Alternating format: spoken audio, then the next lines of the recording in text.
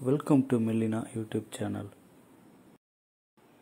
இன்றைக்கி நம்ம John Milton எழுதின பேரடைஸ் லாஸ்ட்டோட புக் நயனை பற்றி பார்க்க போகிறோம் பேரடைஸ் லாஸ்ட் புக்கு பார்க்கறதுக்கு முன்னாடி ஜான் மில்டனை பற்றி ஒரு சில லைன்ஸ் பார்க்க போகிறோம் first one John Milton was born on ninth December sixteen zero eight Bread Street London he was died on eighth November sixteen seventy four at Bun Hill Road, London, who served as Council of State and the latter under Oliver Cromwell. He married three wives. They are Mary Paul, Catherine Woodcock, Elizabeth Munsell. He had four children. They are Annie, Mary, John, and Deborah. He is best known for his epic poem Paradise Lost, written in blank verse. His another important work is Areopagitica. After his friend Edward's king death, he wrote Lycidas. It is a pastoral elegy. John Milton அவர்கள் ஆயிரத்தி அறநூற்றி எட்டாம் ஆண்டு லண்டனில் இருக்க bread street அப்படிங்கிற இடத்துல பிறக்கிறாரு so அதே மாதிரி அவர் எப்போ இறக்குறாரு அப்படின்னா eighth November sixteen seventy four at Bunhill road John Milton வந்து ஒரு சிவில் சர்வெண்ட்டாக காமன்வெல்த் ஆஃப் இங்கிலாந்தில் வந்து ஒர்க் பண்ணார் அது யாரோட ஆட்சின்னு பார்த்தீங்க அப்படின்னா ஆலிவர் கிராம்வெல்லோட ஆட்சியில் அவர் வந்து சிவில் சர்வெண்ட்டாக ஒர்க் பண்ணுறாரு ஆலிவர் கிராம்வெல் யாருன்னா ஜான் மில்டனோட ஃப்ரெண்டு ஸோ இவர் வந்து supporter of Oliver Cromwell. John Milton பார்த்தீங்கன்னா மூணு டைம் தீர்மானம் பண்ணுறாரு ஸோ ஃபஸ்ட்டு ஒய்ஃப் பேர் மேரி போல். ஸோ அவங்களுக்கு நாலு குழந்தைங்க இருக்காங்க. அவங்க பேர் என்ன அப்படின்னா Anne Mary John and Deborah. So அதுக்கப்புறம் பார்த்திங்கன்னா அவங்க இறந்த பின்னாடி செகண்ட் மேரேஜ் பண்ணுறாரு அவங்க பேர் என்ன அப்படின்னா கேத்ரின் உட்காக் அவங்களும் ஒரு கொஞ்ச நாள்லேயே ஒரு தேர்ட்டீன் மந்த்ஸ்லேயே இறந்துறாங்க. ஸோ அதுக்கப்புறம் அவர் எலிசபெத் மன்சில் அப்படிங்கிறவங்கள திருமணம் பண்ணிக்கிறாரு. ஜான் மில்டனோட பெஸ்ட் ஒர்க் அப்படின்னு எதை சொல்லுவாங்க அப்படின்னா அந்த பேரலைஸ் லாஸ்ட் புக்கு தான் சொல்லுவாங்க. ஸோ அது அது மட்டும் இல்லாமல் அது ஏன் அதை பெஸ்ட்னு சொல்லுவாங்கன்னா பிளாங்க் வெர்ஸ் எழுதியிருப்பார். ஸோ அவரோட இன்னொரு இம்பார்ட்டன்ட் ஒர்க் என்ன அப்படின்னா அரிய பெகட்டிக்கா அப்படிங்கிற ஒரு ஒர்க் எழுதியிருப்பார். ஸோ இதுக்கப்புறம் நிறைய ஒர்க்ஸ் எழுதியிருப்பார். போயம்ஸ் அண்டு எபிக் போயம்ஸ் எல்லாமே எழுதியிருப்பார். அதில் மெயினாக என்ன சொல்ல போனோம் அப்படின்னா அவரோட ஃப்ரெண்ட் எட்வர்ட் கிங் இறந்த பின்னாடி லெசிடாஸ் அப்படிங்கிற ஒரு எல்ஜி எழுதியிருப்பார். So it's a type of pastoral elegy pastoral elegy அப்படின்னாலே தெரியும். அது இறந்தவங்களை பற்றி எழுதுறது அப்படின்னு. His first poem was on Shakespeare Shakespeare, written in 1630. His career is divided into three periods. In first period, he wrote on the morning of Christ's nativity, O Nightingale, and El Allegara, Il Penserosa, Lycidas. In his second period, he wrote pamphlets, and his third period, he wrote Paradise Lost, Paradise Regained, and Samson Agonist. Paradise Lost consists 12 books with over 10,000 lines of verse in first edition published in 1667. A second edition followed 12 books in the manner of Virgil's Aeneid. The poem concerns of the biblical story of fall of man. So John Milton more than ten important points எழுதியிருக்காரு. So அதில் அவரோட first poem எது அப்படின்னா on Shakespeare அப்படிங்கிற poem இது எப்போ எழுதப்பட்டது அப்படின்னா சிக்ஸ்டீன் தேர்ட்டியில் பொதுவாகவே ஜான் மில்டனோட கெரியரை மூணு பிரிவாக பிரிக்கலாம். ஸோ அவரோட ஃபஸ்ட்டு பீரியடில் என்ன எழுதினார்? செகண்ட் பீரியட் என்ன எழுதினார்? தேர்ட் பீரியட் என்ன எழுதினார்? அதை வச்சு நம்ம மூணாக பிரிக்கலாம்.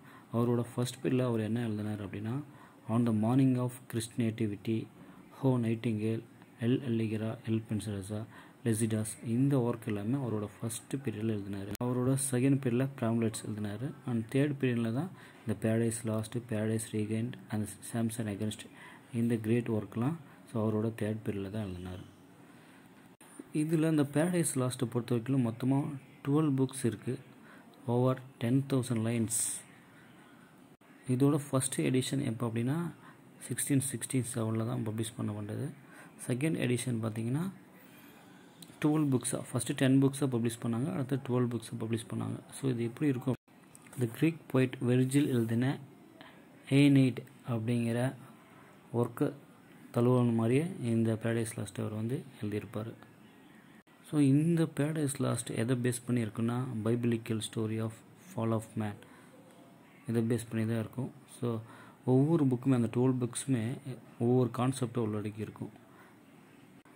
இந்த டுவெல் புக்ஸும் ஒவ்வொரு கான்செப்டும் என்னென்ன அப்படின்னு பார்க்க போகிறோம் the first one book one in hell Satan enters after nine days in Pandemonium book two so in Pandemonium Satan talks with his friends Mammon Moloch Belial and Beelzebub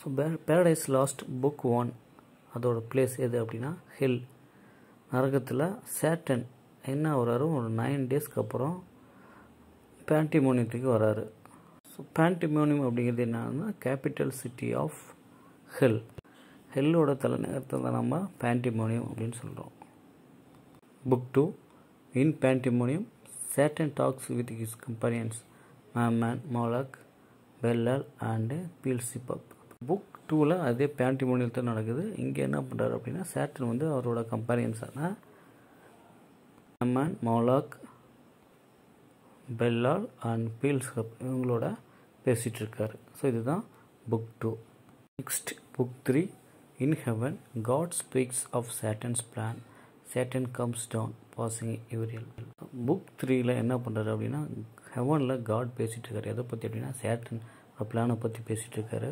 Satan இப்போ என்ன பண்ணுறாரு அப்படின்னா அந்த ஹெல்லுலேருந்து அப்படி கீழே இறங்கி இந்த சூரியனை கிராஸ் பண்ணிட்டு போகிறார் அதுதான் யூரியல். சூரியனோட பேர் தான் நம்ம யூரியல் அப்படின்னு சொல்லுவாங்க. Next book four Satan regards his revolt against God இந்த புக் ஃபோரில் சேட்டன் வந்து கடவுளுக்கு எப்படி எதிராக நம்ம என்ன விஷயங்கள்லாம் செய்யலாம் என்னென்ன புரட்சி பண்ணலாம் எப்படி அவரை பீட் பண்ணலாம் அவருக்கு எப்படி பிரச்சனை கொடுக்கலாம் அப்படிங்கிறத யோசிச்சுட்டு இருப்போம்.